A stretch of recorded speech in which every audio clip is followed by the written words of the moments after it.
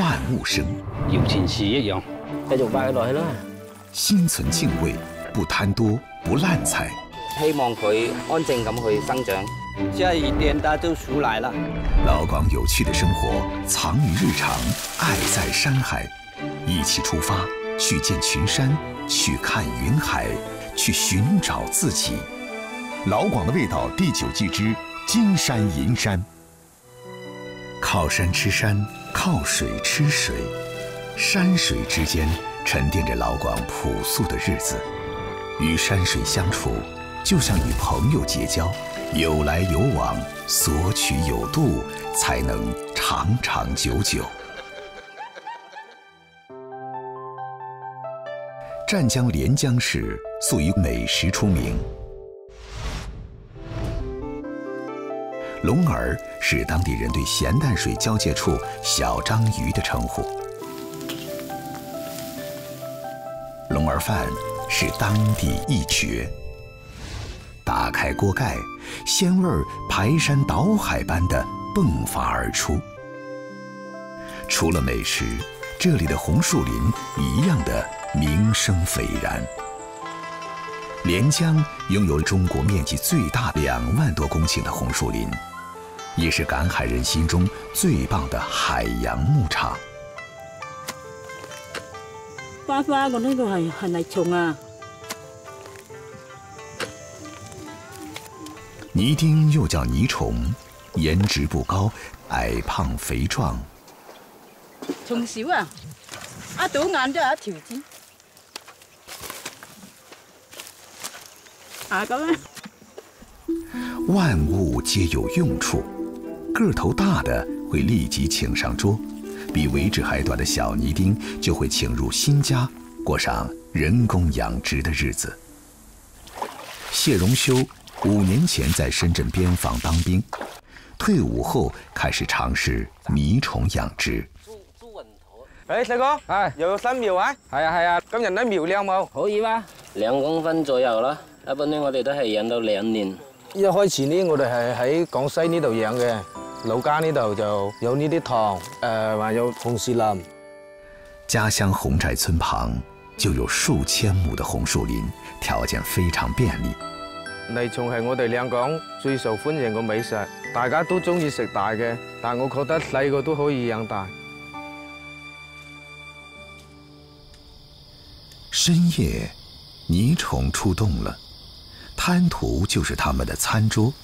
利用细小触指伸展在泥面摄食微生物，不起眼的泥巴是最好的育肥食物。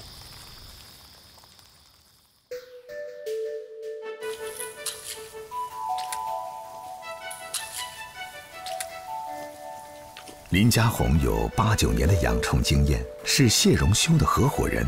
哎，呢度大概七十亩地。而家咧市场上，我哋所供嘅成品虫咧，都系呢边出嘅。挖泥虫考究眼光，要在泥中把它们完整的挖出来，不能有任何的损伤。嗰啲咩就泥虫咯。一般几几几深啊？大概二十公分左右就有噶啦。三条，我哋啱挖嗰两条，佢个规格咧大概系八十条一斤噶，属于特级虫噶啦。养泥虫赚钱并不是谢荣修与林家红的终极目标，他们有个绿色的梦。打算呢，等我哋个规模壮大咗，我哋会将一部分嗰啲苗啊，会投放翻红树林，等佢嗰啲生态连接咧唔会断。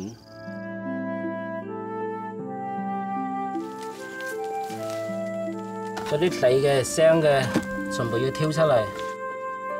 我啊，真系冻到南宁、北海啊，珠三角嗰啲地方嘅。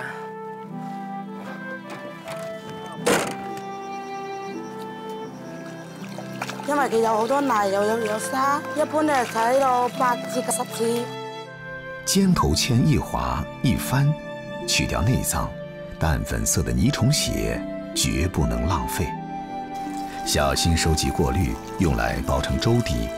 再用饱含泥虫血的粥底来煮泥丁，最后仅需一点盐来调味儿。最鲜的味道就是一口最朴素的粥水。清蒸泥虫也是连江人喜爱的吃法。碟中铺满泥丁，在蒸汽最盛的那一瞬间，迅速放入蒸笼，两分钟不到必须出笼，只有快。才有甜、鲜、嫩。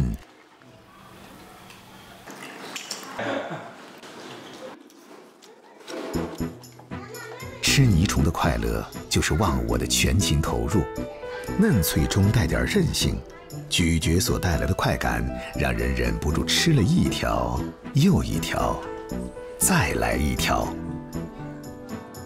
一道香葱爆泥丁就是米饭的绝配。本地小香葱切段儿，热锅爆香，倒入泥丁，香气应声腾起，强火急炒，立即上碟。脆嫩的泥虫，夹杂着香葱，即刻成为了孩子们抢食的对象。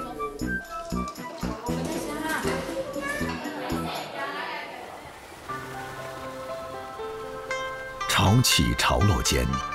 生命生生不息，红树林是谢荣修和林家红的衣食父母，他们早已把自己融入这个天然的生态圈。今天，两人约上当地红树林保护站的站长林广玄，一起去巡视红树林。有红树林地方抽嘅海水又干净，系咪？养殖嘅成功率高啲嘛？而嗰啲科学家研究啊，呢个红树林嘅固碳嘅能力好有作用啊！嗰啲红树林啊，好多嘅都有种嘅闭源嘅功能。红树林里花开花落，春华秋实，丰富着连江人的餐桌。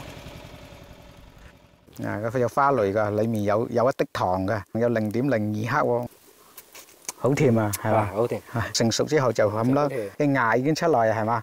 我哋叫嗰种现象叫胎生。红树林的胎生使得种子的成活率比较高。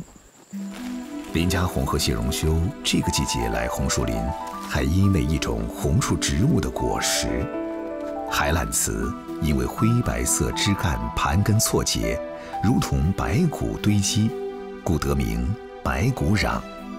白骨壤的果实因外形似硬币，又被称作“蓝钱”。所有红树植物之中，嘅果实，嗰只蓝钱呢系我哋利用食得最多嘅。嗰只太细只，嗰只呢就冇摘。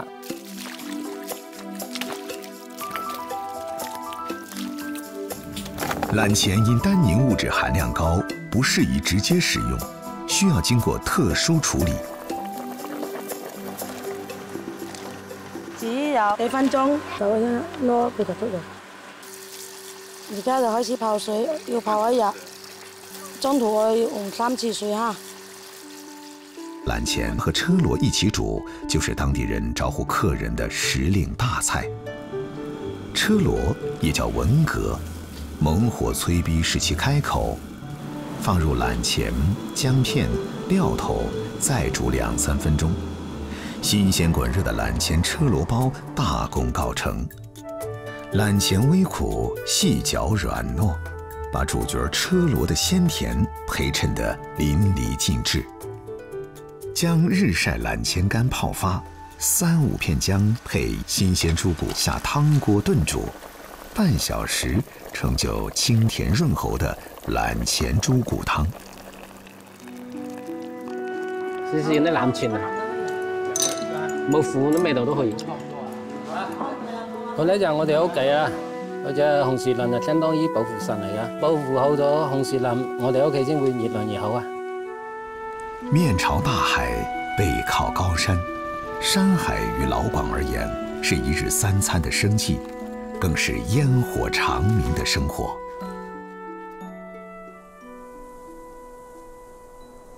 系唔系好靓诶？我就好中意呢度嘅第一道阳光，诶，我成日上嚟我老婆就话我傻傻地嘅。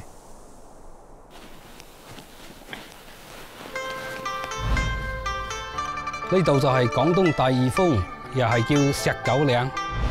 十九岭海拔一千八百八十八米，位于南岭国家级自然保护区内，号称广东第二峰。在第二峰的周边生长着庞玉贵最爱的野菜。个石韭菜就系生喺呢啲诶悬崖边，冇睇小佢啊，系一种药食同源嘅野菜。石韭又叫观音菜、神仙菜，外形像加大码的韭菜，香气浓烈，有点像蒜苗。经过多年驯化，现在可以在村前屋后人工种植。割咗又又会再长嘅，就系提款机诶，摇钱树一样。庞玉贵住在古树村村委，村子山林围绕，近年成了热门的旅游点。庞玉贵顺势在家里办起了农家乐，十酒是游客们打卡必吃的美味之一。食韭菜咧，而家整紧，即刻就到。食韭菜炒烟熏腊肉是当地最具特色的招牌菜。黑黄的腊肉切大片下锅，脂肪晶莹剔透，瘦肉鲜红诱人，混入食酒，爆出辛辣香气，喝着腊肉香烟火气，成就大山里豪迈的下饭菜。十九下锅炒到七八成熟，加进山野土鸡蛋，入口香滑，这才是品尝南岭夏天的最佳方式。在韭菜炒蛋，哎，你看这睇下都冇咁滑，冇咁香啊。嗯，哦，古树村坐落在山坳里，在南岭国家级自然保护区内，宁静且安逸。东西绵延一千多公里的南岭山脉，被视为岭南地区与华中华东的地理分割线。这里是庞玉贵的家，也成全了他的工作。老婆，我去巡山了。哦，小心啲啊，小上来。行走在大山之中，庞玉贵的身份是护林员。小山路滑喎，我哋屯户都行呢啲山路嘅，周三、周四就休息。庞玉贵曾外出打工，在惠州制衣厂的流水线上讨生活。山海自有归期。二零零六年，回到生他养他的这片大山，庞玉贵的眼眸中再次泛起了星光。喺惠州病痛比较多，后尾就翻咗老家呢屋企呢度嗰啲病痛乜嘢都少咗啦。妻子李艳红曾在广州的中医医馆做事。喜欢研究养生，她陪着老公一起巡山，携手共赴山海，两人不经意地把日子过成了城里人羡慕的样子。前面跌咗棵树落嚟喎。知道我睇到啦。我平时得闲嗰时候就跟住阿贵哥一齐巡山嘅啦，唔使佢一个人咁闷呢。跟住巡呢啲山嘅路比较好行先带你上山啫。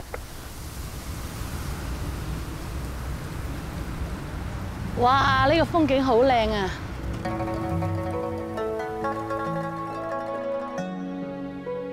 南岭的森林覆盖率达百分之九十八以上，有五百五十多种动物和大约三千九百种植物，是广东省生物资源最为丰富的自然保护区。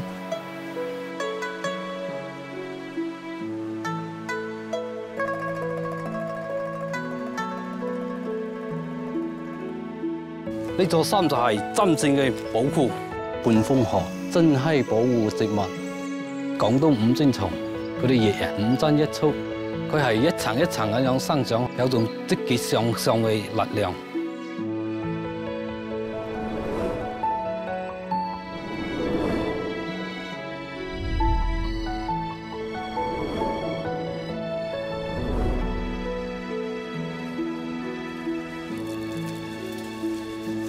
我哋大山里边啊，一年四季有唔同嘅景色。嗱，而家到冬啦，挂晒边啊，到处都几靓下啊！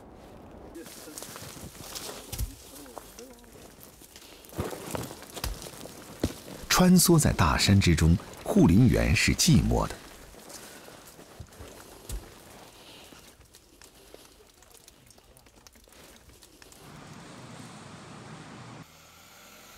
徐贵跟同事们聊天分享的大多是和大山有关的八卦。那个蛇它有时候跟那个树叶差不多了嘛，你你一下子你看不清楚的。三月份左右，我过南岭那边，我开车过就他坐在那个公路那旁边啊。黑熊还是？对，黑熊。一般不对它有威胁性的，应该都不会主动攻击。红外相机监测那里也有拍到。在白马坑那里见那个猴子七八十个，叫藏族猴。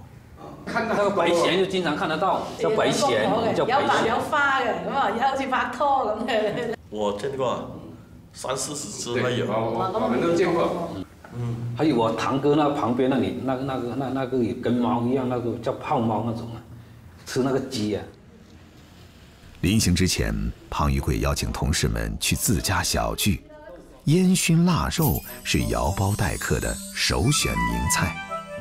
庞玉贵是做烟熏腊肉的行家，放点盐，加点高度的白酒，一般都是腌二至三天左右。一般都系细火慢慢熏，熏耐啲时间。每日系熏到四到五个钟。嗱，呢啲腊肉而家瞓咗廿几日啦。加到好干啊，晒得热来啊，佢就呈啊诶黑色嘅。历经半个月，腊肉表皮被碳黑、碳酸盐等物质重重包裹，阻断了外部细菌的入侵，从而久存不变。想要洗出这层坚硬的外壳，山里人的秘诀是草木灰。农村讲嘅就系灰水，一洗就好干净啊。腊肉与辣椒是天造地设的绝配，这是复合多变的五味体验。熏得泪流满面，辣到接近疼痛，口感柔韧耐嚼，味道咸香刺激。清蒸更考究腊肉的质量，腊肉切厚片，无需调料，只需蒸十分钟，香味四溢就可取出。蒸熏肉。红白相间，适合下酒。山里的冬天，黑得比往常更早。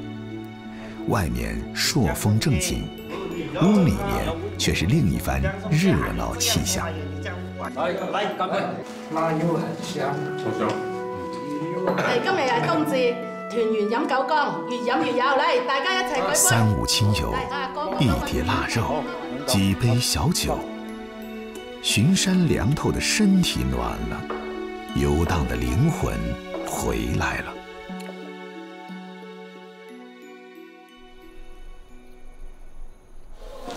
拜祭时用慈姑，寓意着财丁兴旺。就是，因为慈姑的身形，喜欢讲意头的老广们，把慈姑指定为春节宴席祭祀祖宗的必备食材。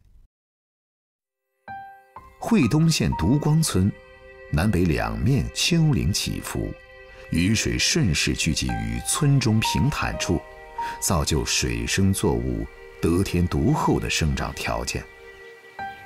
习水的慈菇在这里已经生长了数百年。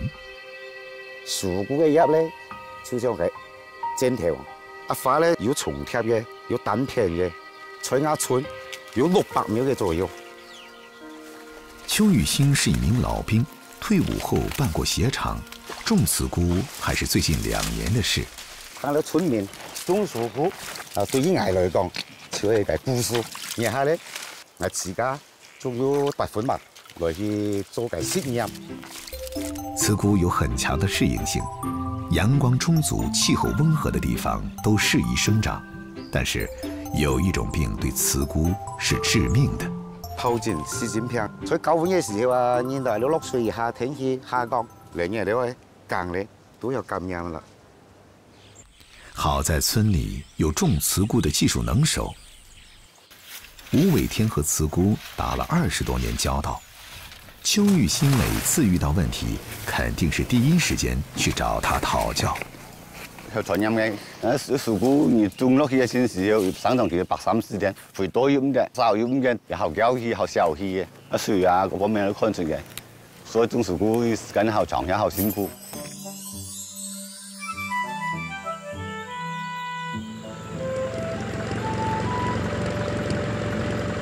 深秋是刺菇的最佳采摘期。太难过了。啊，个爱搓嘅时候，苗我捞佮清理好嘅，然后来讲咧搓张方片。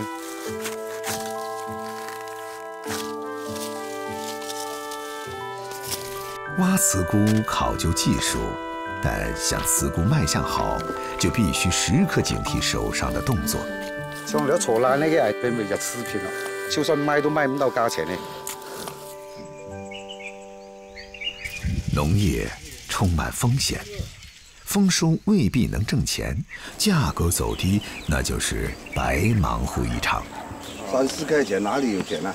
最少要五块钱以上，才可以赚到人工钱啊！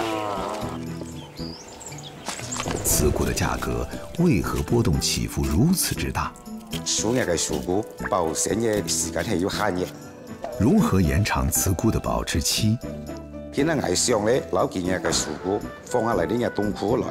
如果保鲜呢久，以后呢，来啲常年都有树不出售，人家价钱就可以参加农民嘅树种来去带奶嘅，去鲜口嘅。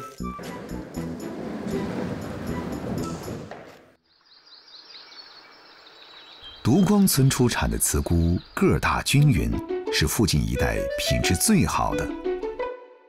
茨菇破开之后，白色微黄的肉质。因富含淀粉而显得细腻。丰收的喜悦总是要体现在餐桌上才够味道。新鲜的茨菇与富含油脂的肉类是绝配。切成滚刀块儿，淋上花生油拌匀，腌制十分钟，再把自晒辣味铺面，蒸上二十分钟，就是一道。征服刁钻味蕾的家常菜，茨菇焖猪肉是当地应季大菜。把新鲜五花肉切厚片，用花生油和南乳爆香后，加入茨菇，倒入适量清水焖煮二十分钟。不要去铲，铲它的时候又会苦的。香味喷涌而出，这个香味是新年将至的信号。拉开老广踏上归途、阖家团聚的序幕。哎，大家辛苦了哈！来啊！身体健康啊！照顾啊！又发又强啊！好香哦！香辣。强、力！好，下，少看看哦，哈。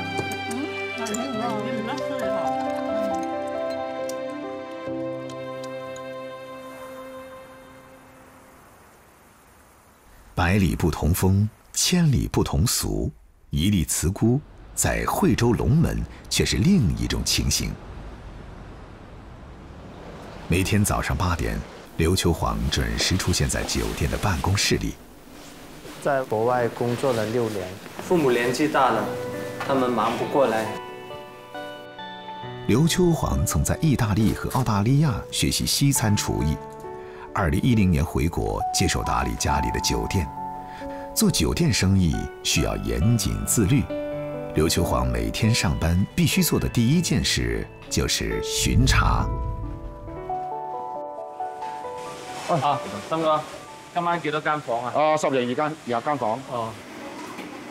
我哋老细好严格噶，做到有啲唔啱就会骂嘅，噶。一定要冚上盖，要注意个食品安全。好好。呢度个地面落班嘅时候一定要再搞干净啲。餐饮业有句行话，餐饮做得好，全靠手办眼见功夫，细节决定成败。在刘秋煌的亲力亲为下，餐厅的订单越来越多。一周后同一天将有几场共一百二十席的宴会，刘秋煌和主厨玄阳森又忙到前跟不粘后脚。西溪笋干是龙门当地人喜爱的特色食材，又香又甜又嫩滑，系又金黄色透明，好香嘅，系啊系啊，甜竹笋做嘅。龙门胡须鸡因下巴上有胡须而闻名，左系黄嘅，啊脚系黄嘅，啊毛系黄嘅，有须嘅，三黄色嘅啊。竹光村的磁菇正当季，刘秋煌慕名而至。好亮哦，今年数都可以，嘿，好饱满，好大只，哎呀，又胖。上好的磁菇到手，刘秋煌寄养难耐，立即动手料理。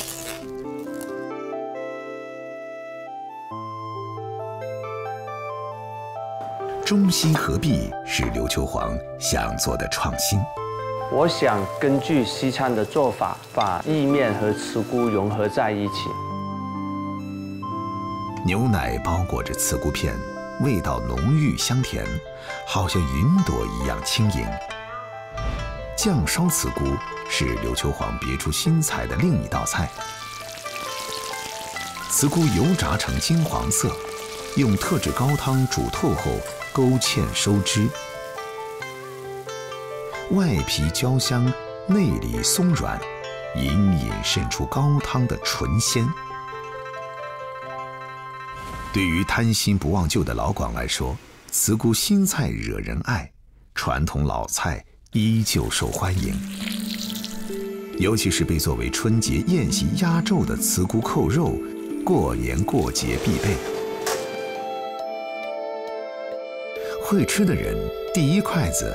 肯定去挑茨菇来吃，吸饱肉汁的茨菇才是这道菜的精华所在。吉日已至，一大早，厨房如战场，刘秋华和同事们一起加入备宴的战斗。让我们一起见证他们走向幸福的未来。祝新郎新娘。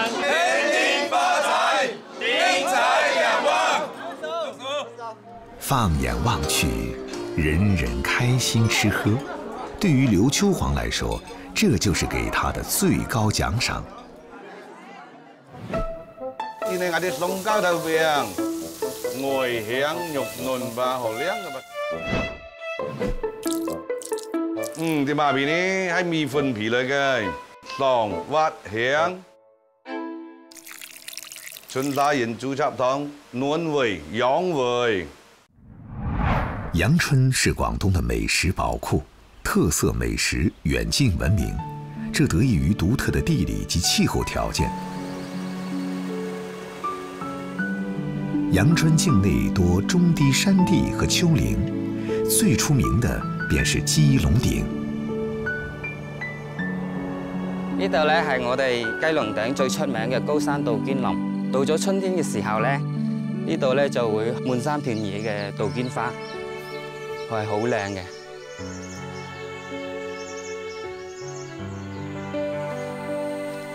刘百臣，双滘镇黄江村人，二零二零年辞去工作回到家乡，鸡笼顶便是召唤他回家的原因之一。鸡笼顶系我哋阳春最高嘅山峰，山顶上边咧全部都系草甸，喺山谷下边咧就系一片森林。鸡笼顶一山跨三市，山中十二道山棱，犹如奔腾的骏马，气势宏伟壮阔。山脚下呢，就系我老家黄冈村，嗰度咧最出名嘅就系沙姜。沙姜也叫山奈，是岭南地区最受欢迎的调味料之一。在湛江，沙姜是白切鸡的点睛之笔；在顺德，沙姜焗排骨，香飘十里。沙姜是刘百臣辞工回家的另一个情节。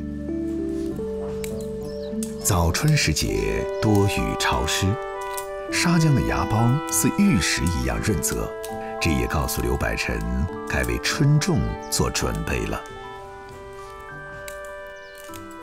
这样有芽的，就是可以做一块的姜种。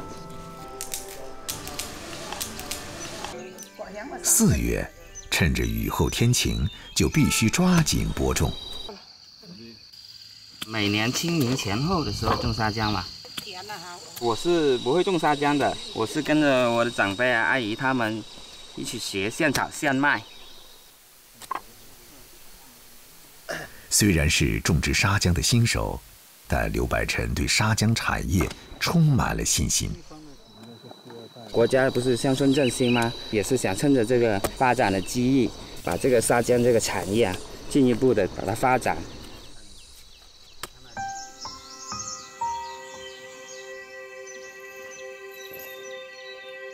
呢啲就系沙姜嘅花，六到九月佢系不断咁出嘅，即系代表佢嘅长势好好。沙姜容易打理，产量也高。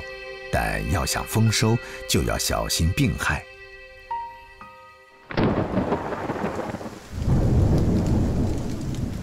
夏季暴风雨总是伴随着电闪雷鸣不期而至，温度及湿度骤变，沙浆也变得脆弱。一旦被细菌侵入感染沙浆温，将会导致沙浆大面积死亡。呢啲就系得咗沙姜瘟嘅沙浆，全部死晒噶啦。佢得咗姜湾呢啲姜咧，佢会用嘅，闻起嚟系好臭嘅。传统种植方法是清除杂草，让沙姜晒足太阳。当高温暴雨时，就可能出现沙姜瘟。不过刘百臣种植沙姜采用的是另一种方法。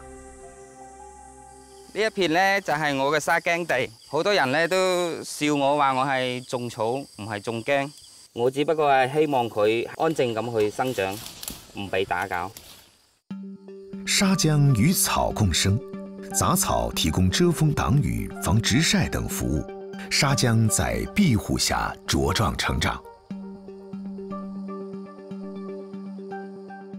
一芽种下，百芽升起。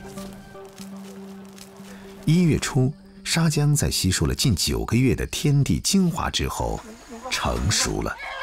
整个双教镇空气中似乎都满溢着沙姜的香辛味儿。尽量往深入啲挖，保持佢嘅诶完整性。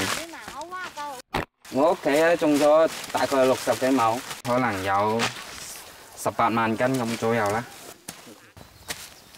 哎，陈，哎，施教授你好。你好，收姜啊。系啊。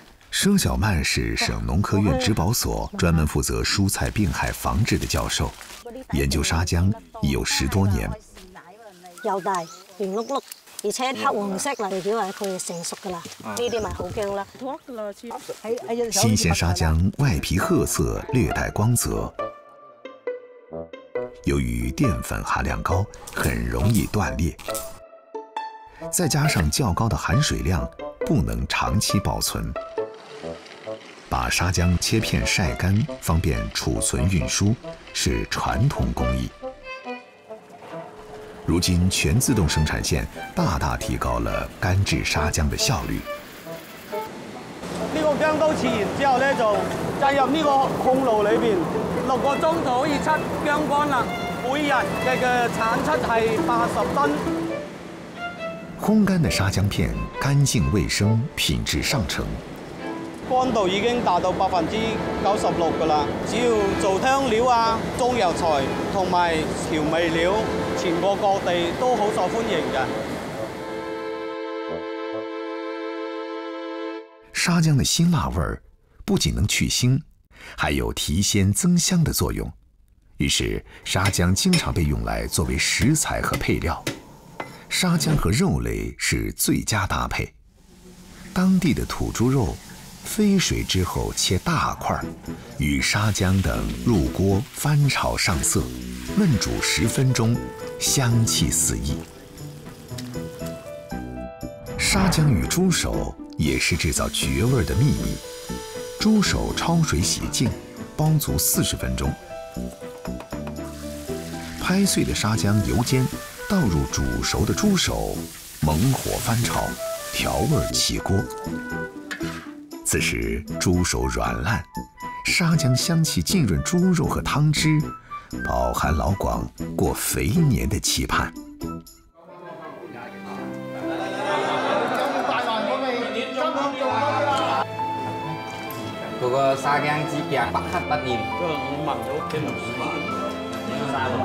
跨年夜。亲朋围坐而饮，是对自己辛劳整年的犒赏，也是对来年的展望。冬夜也因为沙姜变得妖娆动人，似乎已不那么冷了。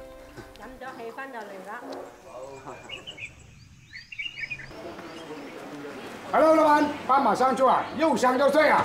慢火炭烤的巴马香猪。香脆嫩滑是游客打卡必吃的美食之一。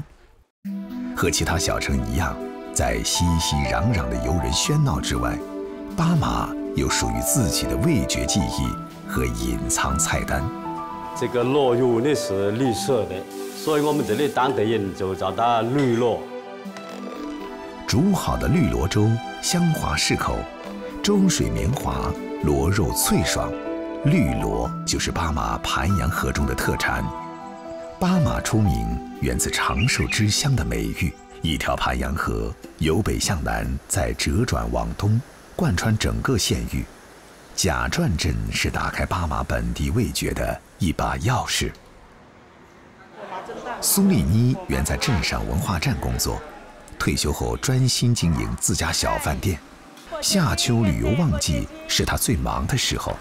我家四海饭店一直干了三十年。香煎鱿鱼，巴解肚鸡。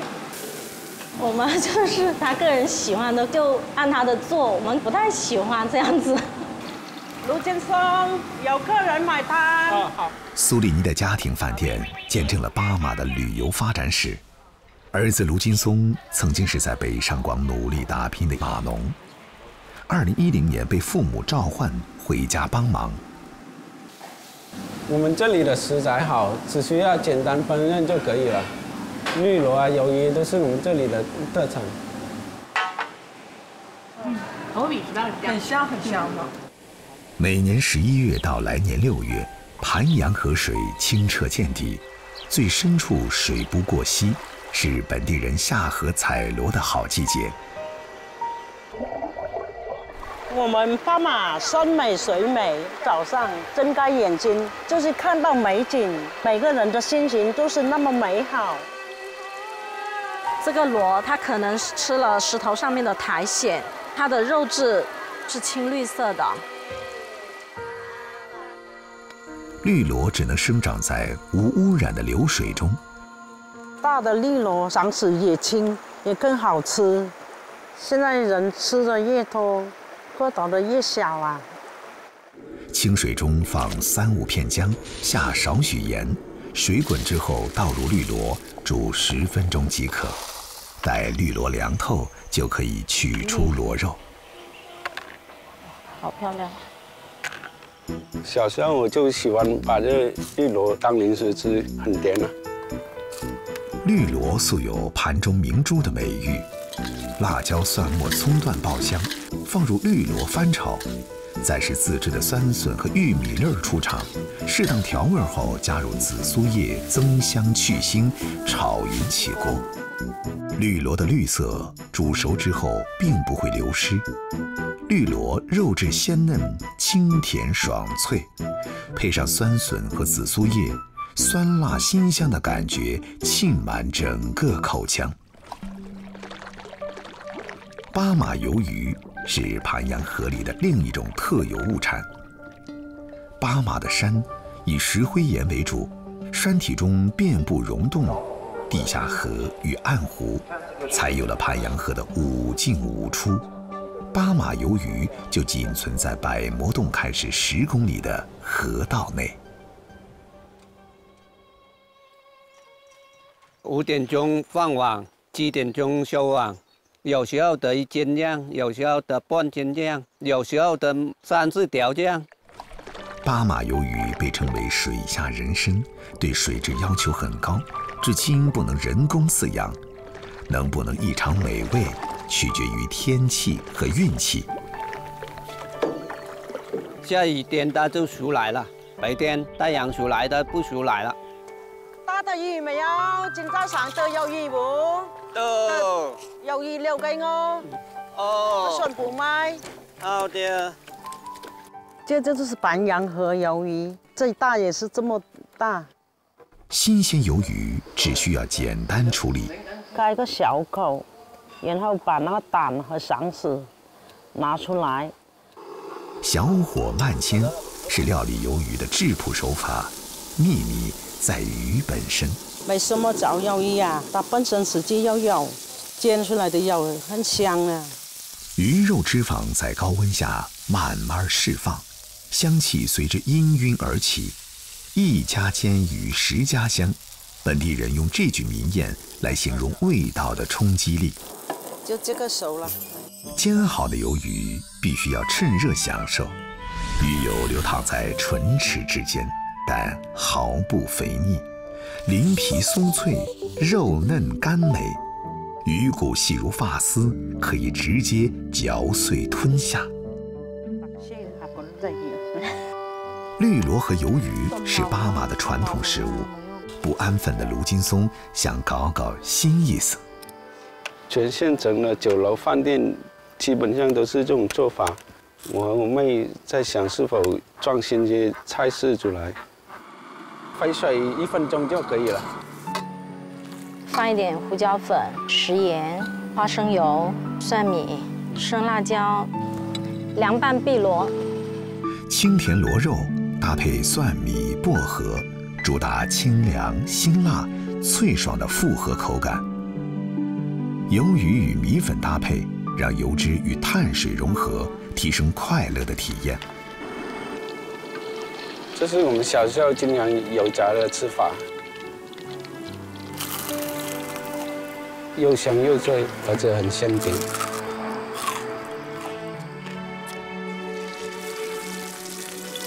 将鱿鱼炸到通体金黄，然后大火爆香料头，用少量水做汤底，放入煎熟的鱿鱼，加入炒熟的黄豆，收汁起锅。黄豆硬韧。鱿鱼香嫩，就像威猛大汉携手温婉女子，相得益彰。干杯！晚上一家人聚齐，正是品尝美食的好机会。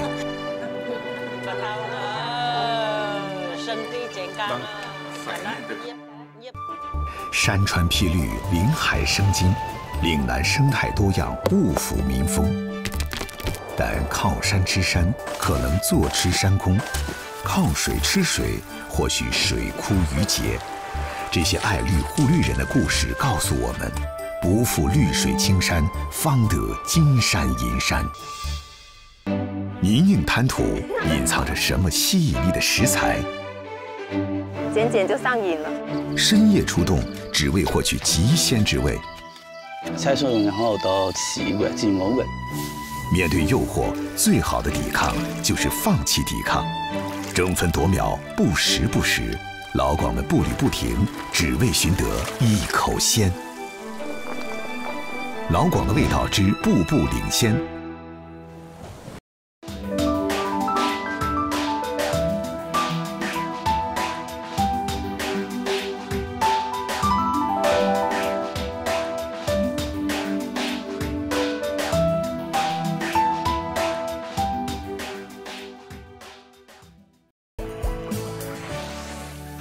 是美好生活倡导者。